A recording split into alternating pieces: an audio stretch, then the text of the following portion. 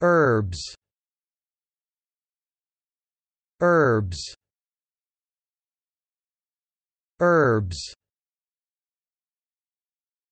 Noun. Definition, any plant with leaves, seeds, or flowers used for flavoring, food, medicine, or perfume. Example, bundles of dried herbs. Noun. Definition, any seed-bearing plant which does not have a woody stem and dies down to the ground after flowering.